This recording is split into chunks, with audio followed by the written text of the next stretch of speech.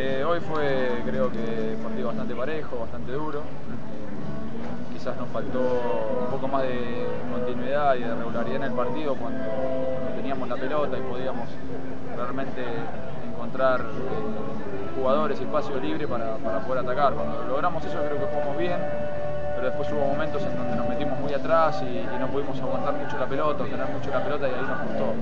Este, nada, es parte de este proceso, tenemos que, ser más regulares, es, importante ganar siempre, obviamente, que, te ayuda para el ánimo. Eh, pero bueno, esperemos que, en estos partidos podamos crecer y, jugar mejor durante más tiempo, estar más concentrados y no, terminar replegándonos metiéndonos atrás y, teniendo que aguantar. Bien, esa era otra pregunta puntual que quería hacer.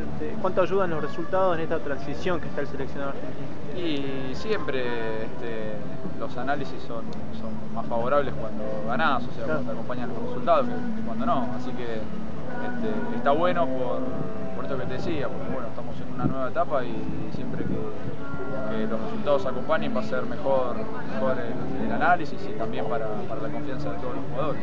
Este, así que bueno, eh, esperemos mejorar y ser más regulares y que los resultados sigan acompañando. Bien, eh, ¿cuáles son las expectativas para este partido que viene contra Japón? ¿Vieron hoy un poco el partido que se Sí, sí, estuvimos viendo, ya lo conocemos también. Eh, nada, el equipo asiático la verdad que son, son muy rápidos, sobre todo cuando salen de contraataque, es un equipo que juega muy bien, que contragolpea muy bien, así que trabajaremos para, para quedar bien parados, no regalar espacios y sobre todo no, tener pérdidas en lugares que les pueda dar contragolpes a ellos y, como dije antes, tratar de, con la pelota ser, ser más regulares y tenerla más tiempo y poder imponer el juego.